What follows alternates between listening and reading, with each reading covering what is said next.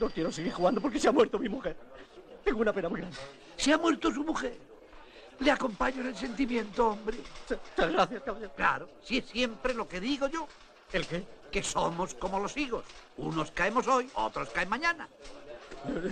Eso tiene gracia, fíjese. Cuidado que estoy triste, pero me hace gracia. Claro que tiene gracia, porque yo tengo gracia. Por eso trabajo aquí en la funeraria, porque tengo gracia. Ay, eh, eh, eh, a, a propósito, ¿querrás saber el nombre de la difunta? ¿De cuál?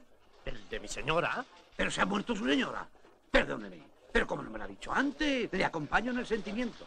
Bueno, usted me dice el nombre de su señora y lo arreglamos enseguida. Santa de la Cruz y Mártires de Alcalá. Sí, hombre, subiendo por la carretera de Extremadura, la primera a la derecha, eso ya lo sé. Yo lo que quiero decir es que me diga usted el nombre de su mujer, porque la calle ya la sé. Si es que es ese. ¿Cuál?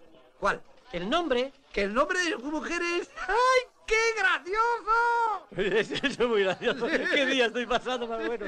Sí, es muy gracioso. Oiga, ¿qué me dice usted de las esquelas? Ah, pues que deberían ser públicas, sí, porque los niños al ir al colegio no se enteran de que... Pare, pare, pare. He dicho esquelas, esquelas, no escuelas. Ah, es que las... Que ponen en ABC, ¿no? Sí, las mismas, las del ABC.